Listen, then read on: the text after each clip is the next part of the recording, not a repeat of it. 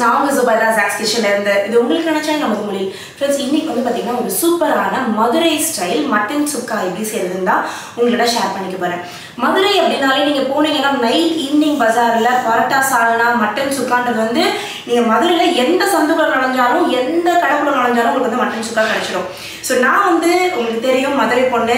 So நிறைய வந்து பார்த்தீங்கன்னா மட்டன் சுக்கா வந்து எனக்கு ரொம்ப ரொம்ப பிடிக்கும் மதுரையில். ஸோ எங்கள் வீட்டில் நான் எப்படி மட்டன் சுக்கா செய்வேன் அப்படின்றத உங்களோட வந்து ஷேர் பண்ணிக்க போகிறேன் அண்ட் இந்த வீடியோவில் மட்டன் சுக்கா மசாலா எப்படி செஞ்சு நம்ம ஸ்டோர் பண்ணி வச்சுக்கலாம் அந்த மசாலாவை யூஸ் பண்ணி நம்ம எப்படி வந்து டக்குன்னு மட்டன் சுக்கா செய்யலாம் அப்படின்ற ரெசிபி தான் நீங்கள் உங்களோட ஷேர் பண்ணிக்க போகிறேன் ஸோ இந்த வீடியோவை ஃபுல்லாக பாருங்கள் இந்த வீடியோ ஃபுல்லாக பார்த்தீங்கன்னா உங்கள் வீட்லேயும் நீங்கள் ஒரு சூப்பரான மட்டன் சுக்கா ட்ரை பண்ண முடியும். மட்டன் சுக்கா மட்டன் வறுவல் எல்லாமே வந்து ஒன்று தாங்க ஸோ இது வந்து பார்த்தீங்கன்னா ரசம் சாதம் பருப்பு சாதத்துக்குலாம் வந்து இந்த மாதிரி மட்டன் சுக்கா வச்சு சாப்பிட்டீங்கன்னா செம்மையாக இருக்கும். இந்த மசாலா ஒன்ஸ் நீங்கள் செஞ்சு வச்சிட்டிங்கன்னா மட்டன் சுக்கா மட்டும் கிடையாது. Chicken sukka chicken kuzhambu mutton kuzhambu இந்த மாதிரி நான்வெஜ் குழம்பு எல்லாத்துக்குமே இதை வந்து யூஸ் பண்ணிக்க முடியும். ஸோ சூப்பரான இந்த mutton sukka with mutton sukka மசாலாவோட எப்படி செய்யறதுன்னு வாங்க பார்த்துடலாம் நீங்கள் நம்ம சேனல் இது வரைக்கும் சப்ஸ்கிரைப் பண்ணலாம் மறக்காம சப்ஸ்கிரைப் பண்ணி வச்சுக்கோங்க. பக்கத்தில் இருக்க பெல் பட்டனையும் கிளிக் பண்ணி வச்சுக்கோங்க. அப்போ தான் நான் அப்லோட் பண்ணுற ரெசிபிஸ் எல்லாமே உங்களுக்கு உடனடியாக வந்து சேரும். ஸோ வாங்க எப்படி செய்யறதுன்னு பார்த்துடலாம் மட்டன் சுக்கா செய்கிறதுக்கு நான் இங்கே ஒரு கிலோ மட்டன் வாங்கி வச்சுருக்கேன். இதில் வந்து பார்த்திங்கன்னா இந்த மாதிரி குட்டி குட்டி பீசஸாக கட் பண்ணி எடுத்திருக்கேன்.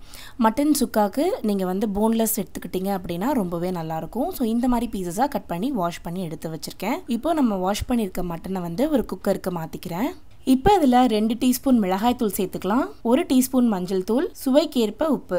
அடுத்து இதில் ஒரு கப் அளவுக்கு தண்ணி ஊற்றிக்கலாம் தண்ணி அதிகமாக ஊற்றக்கூடாது தண்ணி அதிகமாக ஊற்றுனீங்க அப்படின்னா அதுக்கப்புறம் வந்து அதை வத்த வைக்கிறதுக்கு ரொம்ப டைம் எடுக்கும். ஸோ ஒரு கப் தண்ணி ஊற்றினா போதும். இப்போ இதை மூடி போட்டு மூணு விசிலுக்கு நல்லா குக் பண்ணி எடுத்துக்கலாம். மட்டன் துண்டுகள் எல்லாமே சின்ன சின்னதாக இருக்கனால மூணு விசில் வந்தால் போதும். ரொம்ப வேக வச்சிங்க அப்படின்னா கறி வந்து கரைஞ்சு போயிடும்.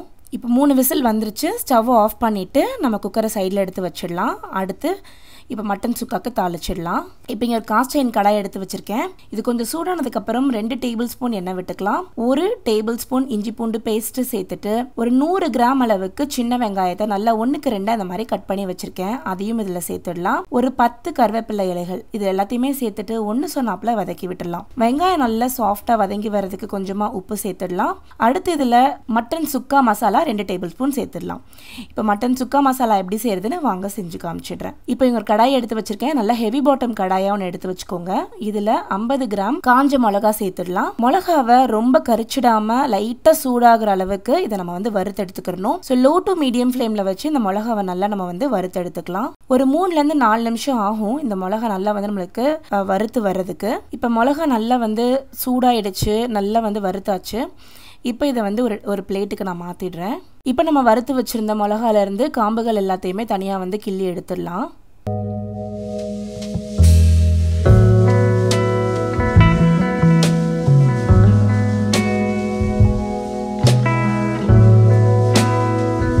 அடுத்து இதை வந்து நான் என்னுடைய ட்ரை கிரைண்டருக்கு மாற்றிக்கிறேன் இதை இந்த மாதிரி உள்ளுக்குள்ளே எல்லாத்தையுமே போட்டுட்டு நம்ம வந்து லாக் பண்ணிடலாம். இது வந்து குட்டி மினி மெல் மாதிரி நம்ம வீட்டிலே வந்து வச்சுக்கலாம். நம்ம அந்த மாதிரி பவுடராக நம்ம வந்து மசாலா திரிக்கிறதுக்கு அரிசி மாவு திரிக்கிறதுக்கு எல்லாத்துக்குமே இதை நம்ம வந்து யூஸ் பண்ண முடியும்.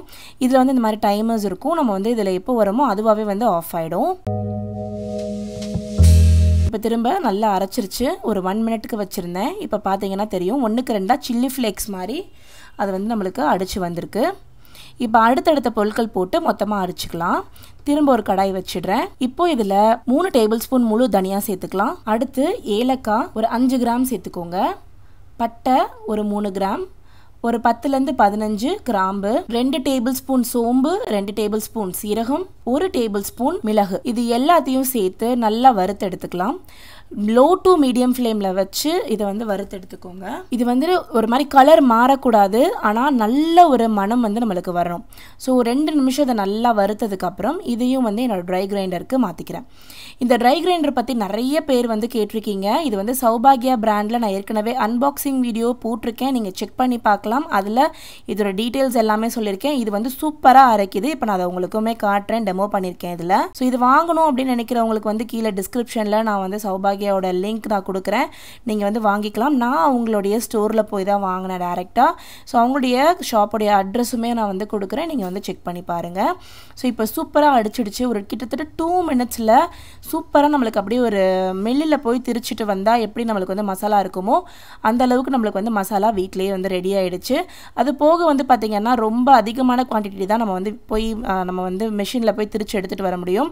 இந்த மாதிரி ஒரு இரநூறு கிராம் முந்நூறு கிராம் பண்ணணும் அப்படின்னா வீட்லேயே அப்பப்போ நம்ம ஃப்ரெஷ்ஷாக செஞ்சு எடுத்து வச்சுக்கலாம். நம்மளுக்கு ரொம்ப கன்வீனியண்ட்டாகவே இருக்குது இந்த மிஷின் வந்து ட்ரை கிரைண்டர் மிஷின் இதில் வந்து நிறைய பேர் வந்து நம்ம நார்மலாக மிக்சர் ஜார் மாதிரி இதை யூஸ் பண்ண முடியுமா அப்படின்னு கேட்டிருக்கீங்க. இது மிக்சர் ஜார் கிடையாது. இது வந்து மினி மில்லுன்னு சொல்லுவாங்க. வீட்டில் வந்து நம்ம அரிசி மாவு திரிக்கிறதுக்கு இந்த மாதிரி மசாலாஸ் மிளகா பொடி மல்லித்தூள் இந்த மாதிரி நம்ம வந்து திரிக்கிறதுக்கு நம்ம வந்து வீட்டில் வந்து யூஸ் பண்ணிக்கலாம். மிக்சிக்கு பதிலாக ஸோ இந்த மாதிரி நம்மளுக்கு வந்து நல்ல ஒரு மிஷினில் போய் திரிச்சிட்டு வர மாதிரி நம்மளுக்கு வந்து அவுட்புட் கிடைக்கும். அதுதான் இதோடைய பர்பஸ் ஸோ ரொம்ப நல்லா இருக்குது நான் உங்களுக்கு ஏற்கனவே சொன்ன மாதிரி உங்களுக்கு டிஸ்கிரிப்ஷனில் டீட்டெயில்ஸுமே இருக்குது இப்போ நம்மளுடைய மசாலா வந்து பார்த்திங்கன்னா சூப்பராக வந்து அடித்து ரெடி ஆகிடுச்சு இப்போ நான் அதை வந்து ஜல்லடிக்கு மாற்றி இதை வந்து இந்த மாதிரி நம்ம வந்து ஜலிச்சு எடுத்துக்கலாம். ஸோ சூப்பரான மட்டன் சுக்கா மசாலா ரெடி இதை நீங்கள் ஒன்ஸ் திரிச்சு வச்சுக்கிட்டீங்க அப்படின்னா நீங்கள் எல்லாத்துக்குமே இதை வந்து யூஸ் பண்ண முடியும். இதை வந்து ஒரு ஜாருக்கு மாற்றி எடுத்து வச்சிடுறேன்.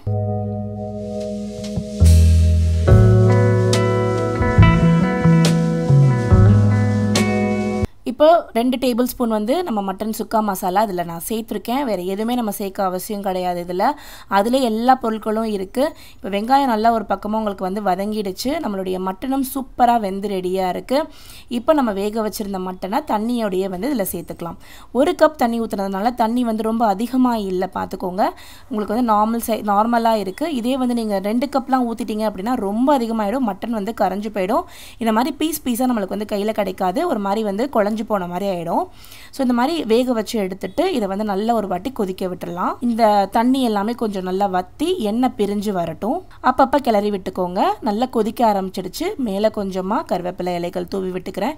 மட்டன் சுக்காக்கு கொத்தமல்லி போடணும்னு அவசியம் கிடையாது. கருவேப்பிலையோடைய மனமே ரொம்ப நல்லா இருக்கும். ஸோ கருவேப்பிலை சேர்த்துக்கோங்க. இப்போ நல்லா கொதிச்சு வரும்போது இப்போ வந்து ஒரு டேபிள் ஸ்பூன் வந்து நம்மளுடைய மட்டன் மசாலா சேர்க்குறேன். மொத்தமாக மூணு டேபிள் ஸ்பூன் சேர்க்கணும். நான் வெங்காயம் வதக்கும் போது ரெண்டு டேபிள் ஸ்பூன் சேர்த்துருக்கேன். இப்போ வந்து ஒரு டேபிள் ஸ்பூன் சேர்த்துருக்கேன். அவ்வளோதான் ஃப்ரெண்ட்ஸ் நம்மளுடைய சூப்பரான மட்டன் சுக்கா வந்து ரெடி ஆயிடுச்சு.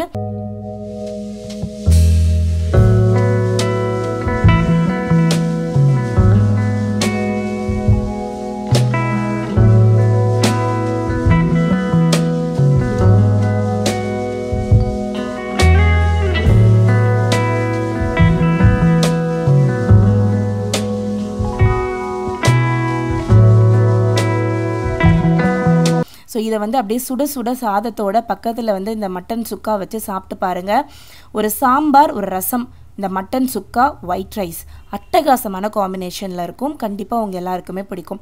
நான் சொன்ன மெத்தட் படி நீங்கள் இந்த மாதிரி மசாலா அரைச்சி செஞ்சீங்கன்னா வேறு லெவல் டேஸ்ட்டில் இருக்கும்.